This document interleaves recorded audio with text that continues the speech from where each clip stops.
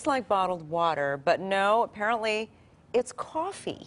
Clear coffee, and it comes in three flavors Nope. coffee butter, espresso tonics, and whiskey flavored beans. Mm. Huh. Clear coffee was invented by two coffee loving brothers who were tired of stained teeth. It'll cost you about $7.50 for a two pack and $17.50 for a five pack.